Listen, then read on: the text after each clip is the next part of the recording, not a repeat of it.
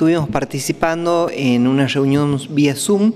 junto a parlamentarios de Chile, Brasil, Paraguay y Bolivia. Eh, esta reunión estuvo organizada por el senador Nelsinho Trapp de mm, Brasil. Y bueno, la idea era que nosotros desde la Argentina podamos mostrar lo que es el corredor bioceánico, presentamos el nodo logístico de Güemes y a su vez también estuvo participando Hernán Cornejo por el Palasur, también eh, la diputada de Jujuy y mostrando lo que venimos haciendo en una política de Estado nacional y provincial y cómo esto nos permite tener salidas hacia el mundo, particularmente con la región, con los países que mencionaba y por supuesto trabajando sobre distintos ejes, que son cinco los que se va a trabajar de ahora en más, que es justamente el comercio, el turismo, la educación, eh, las relaciones diplomáticas entre los países y nosotros brindando leyes que sean leyes para toda la región.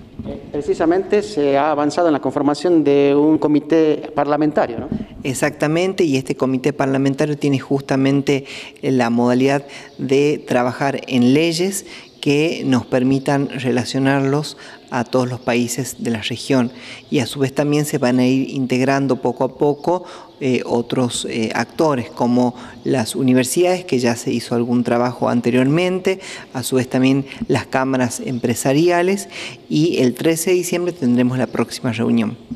¿Cómo está el corredor bioceánico en lo que respecta a su paso por, por Argentina y por Salta?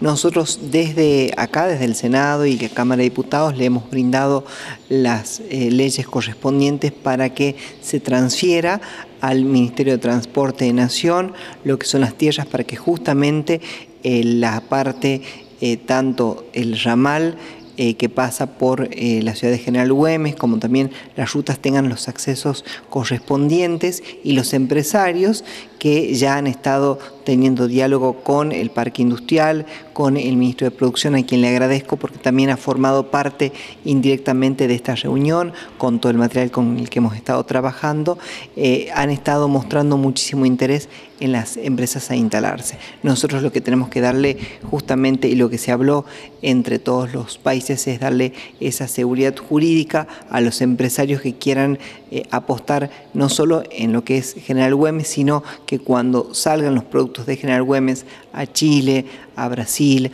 a Bolivia y a Paraguay, lo puedan hacer en este corredor de una manera mucho más económica, ágil y directa, porque también tenemos el corredor que une la parte de Argentina y Paraguay, eh, a su vez también lo que comunica eh, Chile con Brasil, han comentado que han trabajado durante muchísimos años y falta muy poco para que sea efectivo. Entonces creo que eso es lo que nos permite poder comunicarnos.